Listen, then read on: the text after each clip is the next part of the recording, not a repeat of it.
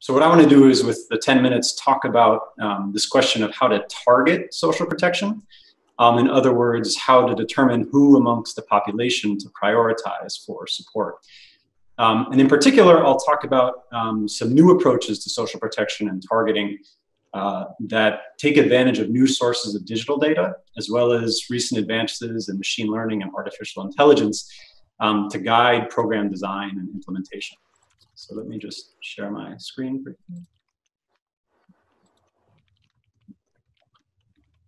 Great. So these approaches are being piloted right now in several countries that, that I'll talk about um, as I go on.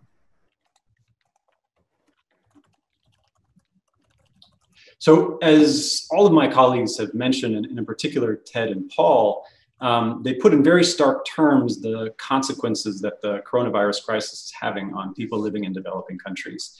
Um, and the idea is that these lockdown orders that are really designed to stop the spread of the disease um, are removing many households' primary source of income and leaving millions of vulnerable houses uh, without, without means for subsistence. Um, and so uh, we didn't coordinate this, but, but Ted, Paul, and I have all showed uh, data that looks like this, um, where here I'm showing you uh, data we've collected in Togo in a phone survey um, literally over the last week. This was updated last night, looking um, at how many meals people are skipping, or how many days people are having to skip meals within a given week.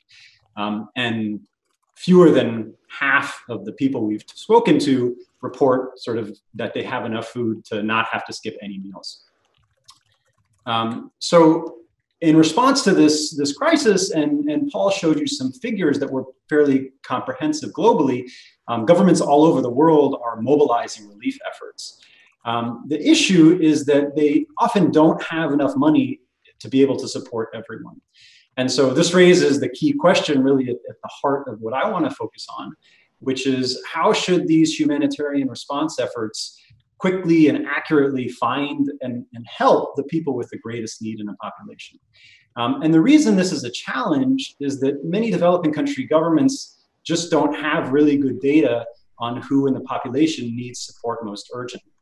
Um, you know, it's not like, as I say here, you can just look at the tax filings because um, the majority of workers in most developing countries are informal.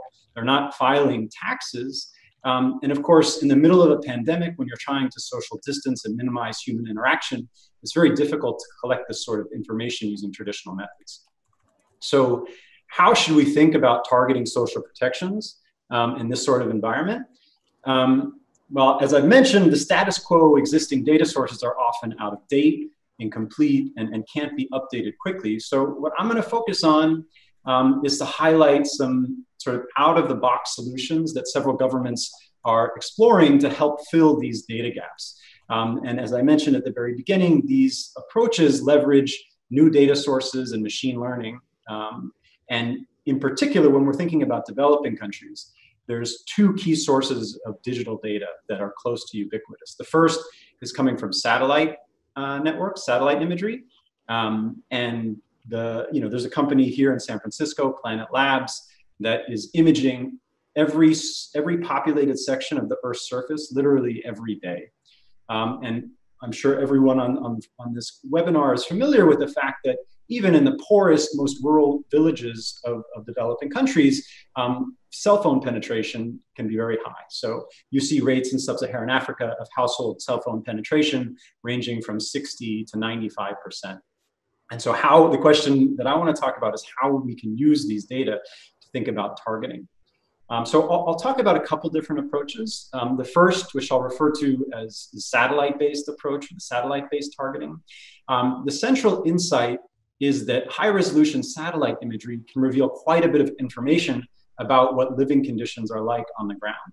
And as you can see in, in a few photos, I literally just screenshotted from Google Maps uh, this morning, um, you know, information about the roofing material, the quality of roads, the density of housing, um, the size of farm plots. All of this is very indicative of what the living conditions are like for the people living in those households. Um, and so the, the idea is that machine learning algorithms can help pick out from these imagery, these hallmark signals of, of poverty and wealth. Because at its core, machine learning really is a technology for pattern recognition. And so the question is, what patterns should we look for? Um, and so I hope this will work. I'll switch over very briefly to, to show you a demo. What we've done here is we've taken um, satellite imagery from around the world, processed it with, with these machine learning algorithms, and used it to generate estimates of the sub-regional distribution of wealth and poverty. So I'm slowly zooming in now in this region around Nigeria. Um, and what you can see is we get really granular estimates of what regions are wealthy and what regions are poor uh, at a scale that would really not be feasible using traditional uh, on the ground based data collection.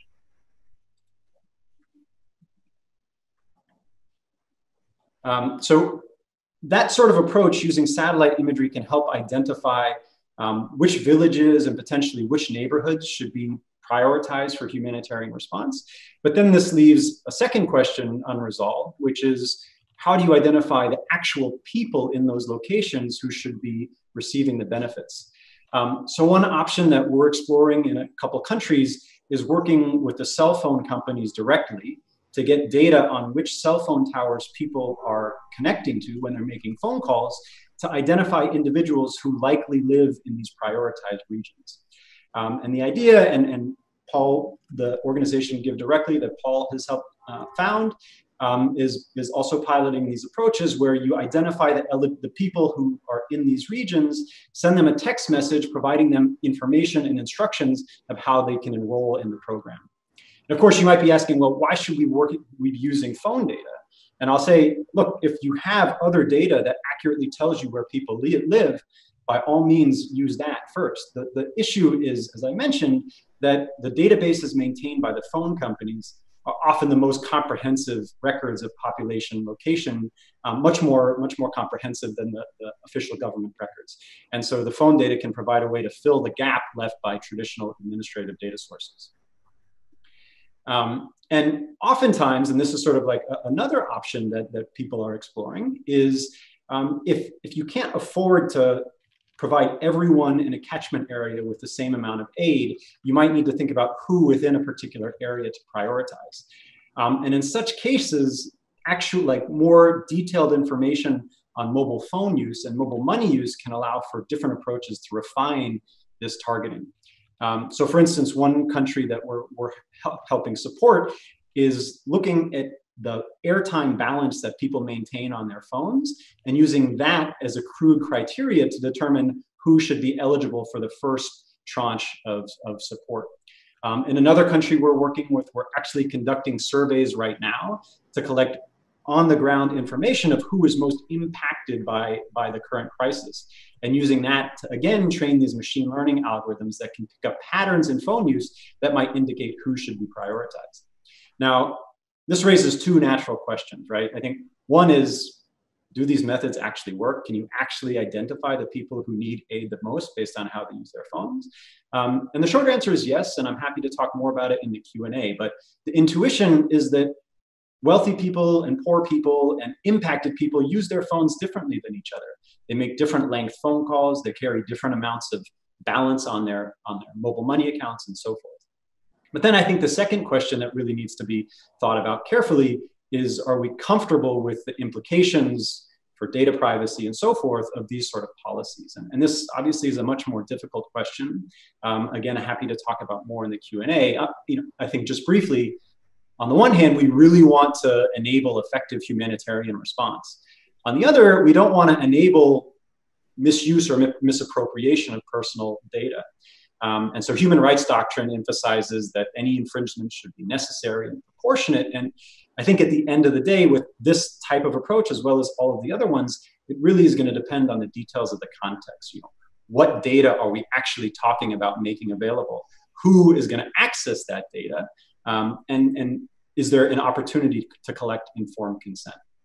So just backing up, I, will briefly summarize. Um, I think, look, the, the key point I want to make is that these new data sources create options for targeting humanitarian aid. Um, it, it, hopefully should be clear that these are designed to complement existing programs and protections, not to replace them. Um, and the way we've been thinking about it in our partnerships with these governments is how these new data sources can provide a second safety net sort of underneath the, the first one that can help catch what we think of as, as exclusion errors or the people who would otherwise be excluded from um, the traditional safety net. And so with my last slide, I'll just again highlight that any real world program is going to have to grapple with really deep and, and, and difficult practical and ethical issues before implementing these sort of approaches. I, I highlighted a few of these, too many to talk about in just 10 minutes.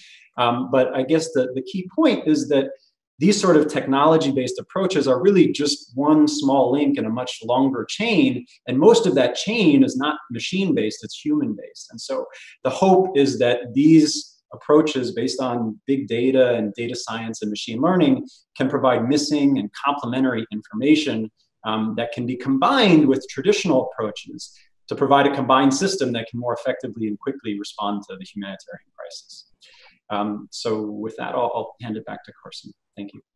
Thanks a lot, Josh. Can you quickly tell us um, um, which countries you're currently working in? Uh, you mentioned working closely with governments. Yeah, um, so we've been working in several several countries um, with Togo, with Bangladesh, uh, with Nigeria. We've also been exploring conversations with with um, uh, Uganda, um, and, and I think the first thing to emphasize is that no two engagements are alike. You know, most of these countries have the same ultimate goal, which is to improve food security and welfare. Um, each has a different set of specific policy objectives and a different system of social protections that these need to be integrated into. Um, I'm happy to talk more about specific examples. I think what Togo is doing, Paul Niehaus mentioned this briefly, is particularly innovative.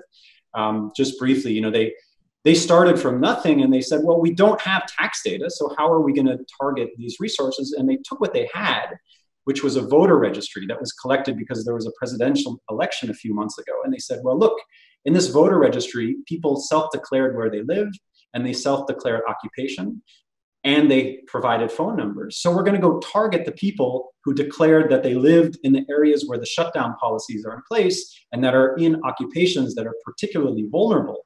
And then they went out and sent text messages to get people to register, and they're now providing $10 every two weeks to about 600,000 beneficiaries to this program. Um, but again, every country has sort of its unique context and a unique set of tools and data sources that can be combined to provide these more comprehensive solutions.